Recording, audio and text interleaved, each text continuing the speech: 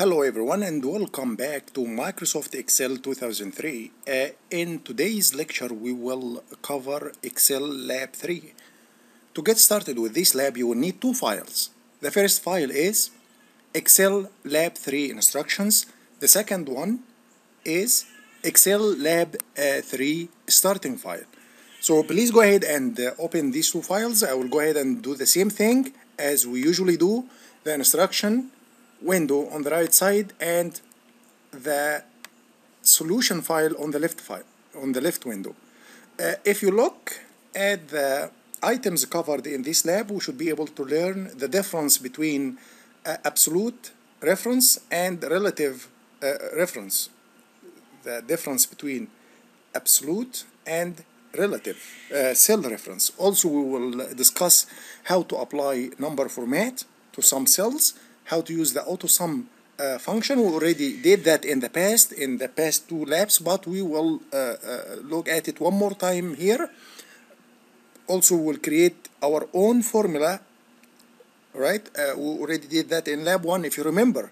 But we will reinforce the topic that we uh, discussed, and we will create a new formula today. Also, we'll use the conditional formatting and how to move uh, cells inside Microsoft Excel. So basically this is like a refreshment for uh, the previous two labs that we covered so far.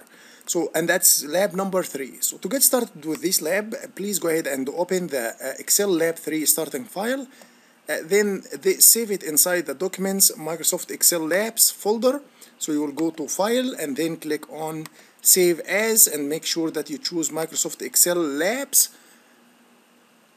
and change the file to uh, show uh, uh, Excel Lab 3 as you see here and then click Save. auto sum the range B3 all the way until B5 in cell B6. So what you can do, you can click on cell B6 and then go to the editing group and then click on auto sum and then press enter. So that that is basically uh, how to do this uh, step. Uh, then copy the function in cell B6 and paste it in cell E6. Oh, do you remember what I covered in lab number two at the very beginning? How to copy the formula. So now you are having an actual scenario on how to uh, implement that. So basically you need to copy the function in cell B6. So you click on cell B6 first, then press Ctrl C to copy not the actual value. When you press Ctrl C, you copy the function in that cell, which is the one that shows in the formula bar here. Do you see it? Which is equals sum B3, uh, open parentheses, B3 uh, colon B5, close parentheses. And then I will go to the location where I need to uh, paste this uh, function in cell E one second it says here copy uh, the function in cell B6 and paste it in cell E6 so I will go to E6 as it says in the instructions here and then press Ctrl V. Well when I press Ctrl V I still have the moving rectangle as you see it here the dashes that moves around the uh, the dashes that move around the number as you see here if I press escape it means that I'm done with copying. But if I go to cell E6 and look at the actual function I copy it it says here sum E3 all the way until E5 so now look where did I copy this function from? I copied this function from cell B6 so look at the actual function, B3 all the way to B5. So it looks at this column. When I copied this function to a faraway column, what happened? I'm using the relative reference. It's copying the function, but it's relating it to this column. That's why it's called the A, the what?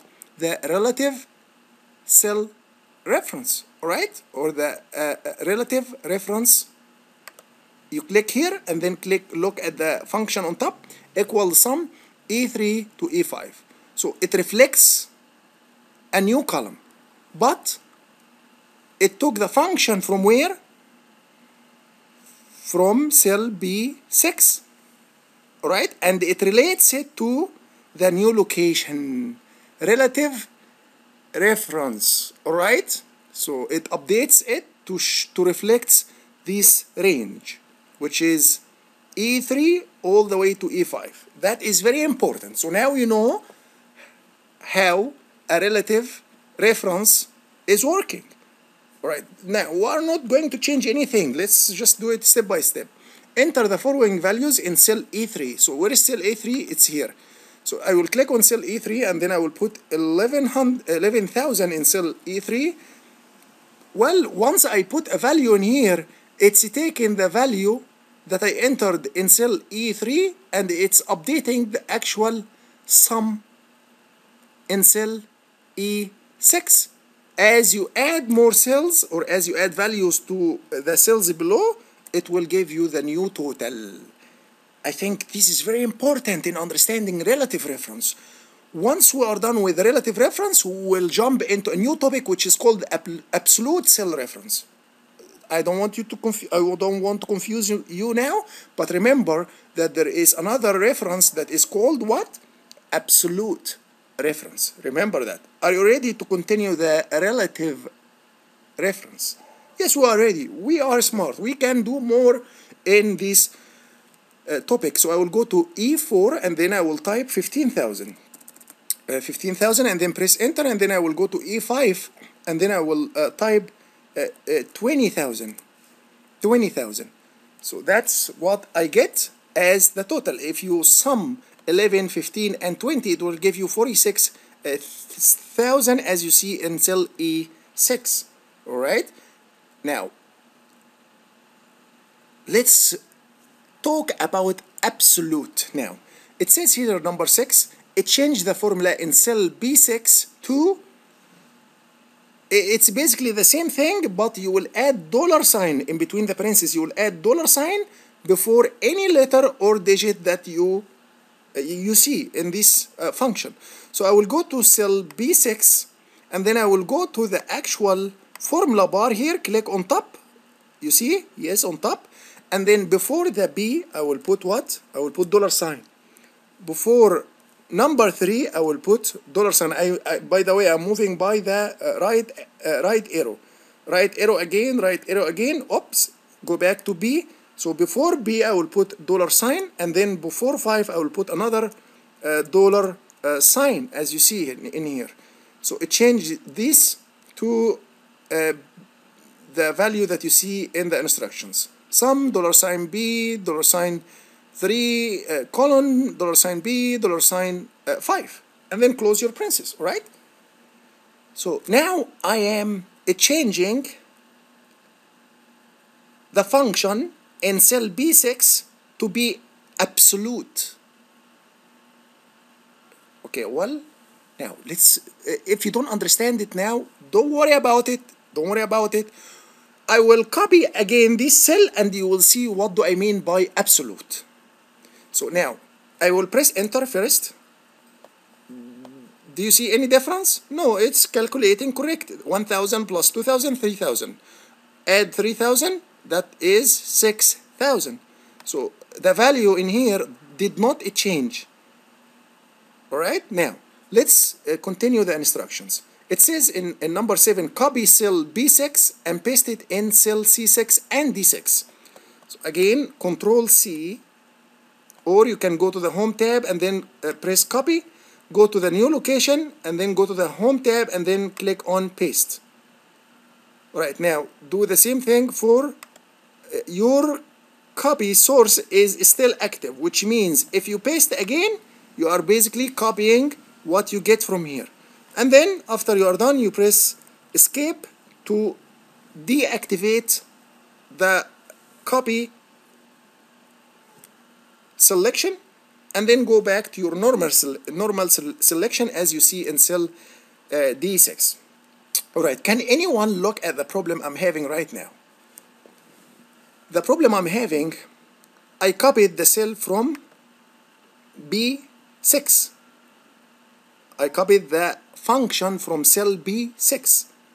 this function is referring to absolute cell reference. Why? Because I have dollar sign before the column and dollar sign before the row. And the same thing for the last uh, part and that makes this an absolute cell reference. What does it mean? It means no matter where you paste this function, it will always absolutely look at the source range. Absolutely. That's why it's called absolute cell reference. Just try to make a connection between them. Now, do the same thing for D6. Same thing, absolute source. This is, this is here, this is the source that this function is always absolutely looking for. What, all right? So now let's go ahead and look at uh, something on how to fix this problem. So in order to fix this uh, problem here in cell C6, uh, uh 3000 plus 6000, that's 9000. And then add another 9000, that's 18,000. The result I'm getting is 6000. In, in the instructions, it says fix the problem so the total row shows the correct sum for each quarter. So I know that this is correct, E6 is correct, and I know that uh, B6 is correct, but C6 and D6, both of them are not correct. So let's fix first C6. I will make sure, I will make sure to do what?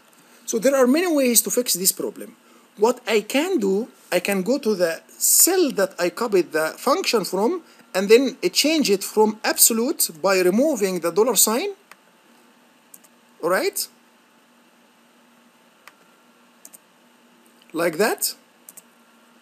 And then press enter. So now I get the same result, but if I copy this cell from here, I can use even the fill handle. And then I will just do it for the cell next to it, which is C6. Now, do you remember when I told you please fix fix the content of the cell so it auto fits the cell width? How do you fix this problem? You double click on the arrow on top and now it's giving me the correct results. So now let's go ahead and fix uh, the one in cell B6. So I will go to B6, uh, D6, D6 and then try to fix this uh, problem. You can leave it absolute as is, but I need you to put that, update it with the correct range. So now, dollar sign, I will leave it absolute, but I will update the correct range. So instead of pointing to B, I will point to D.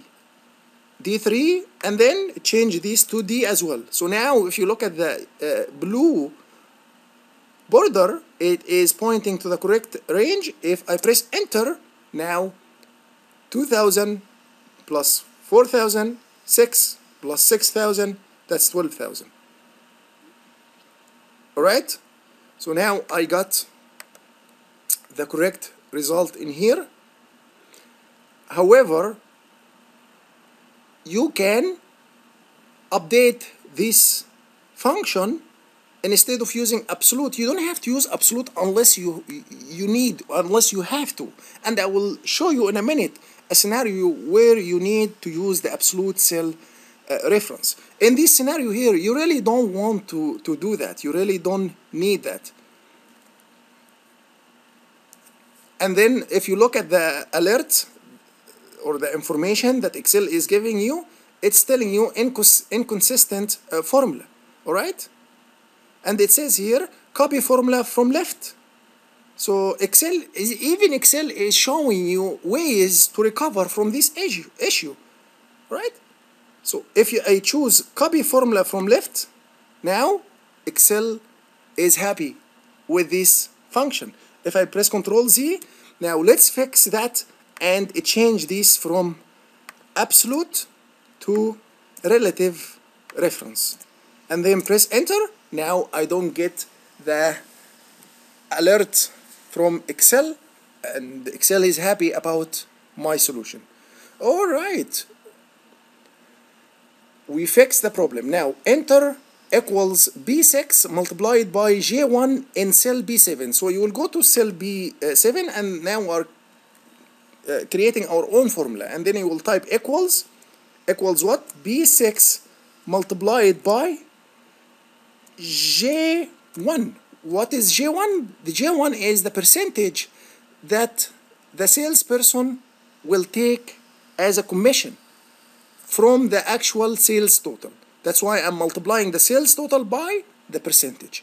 So now if I press enter Eh, now this salesperson will take $300 as a commission Alright, use the fill handle to copy the formula in cell B7 to the range C7 all the way to E7. So I will use the fill handle all the way to E7.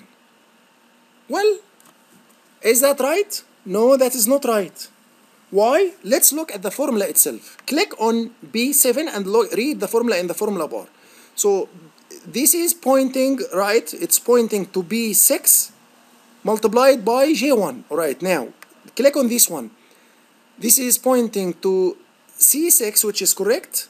C6, the total, multiplied by K1. K1, what's K1? K1 has nothing inside it. And why did that happen? Because Excel is using the relative cell reference. Now, I need to tell Excel, don't move to the cell next to the commission percent. Just always, always look at this cell no matter where I take you to. So, can anyone tell me what kind of cell reference do I need to use? Yes, you are right. Absolute. Absolutely look here. Absolutely. Absolute cell reference. So now I will go back here. Can anyone tell me how I fix that? Yes, you are right. You will change K1 to J1 and then press enter. Now you get a result. But you, what if you have a long range of data? It's simple here because you have only three values or two values. But there is a better way to fix this issue. And even Excel is complaining about it. Let's see what is Excel telling us. It says Excel is telling me copy the formula from left. Well, when I copy the formula from, from left, it's giving me an error. And the Excel is not complaining. Why? Because it just it, it is flowing correctly, but it's not giving me the correct result. How, you, how do we fix that? You change J1 to be absolute. Absolutely look at that location. But I will leave B6 as is. Why? Because I need B6 to be a relative reference. I will press enter. Now I will go to cell B7 and then use the fill handle and drag it to the cells to the right. Now everything is working very nice. Alright everyone? Now fix, we already fixed. So the record displays the correct result for each quarter. Highlight the cells in the range B3 all the way to E5. B3 all the way to E5 and then do what? Highlight the cells in the range B3 all the way to E5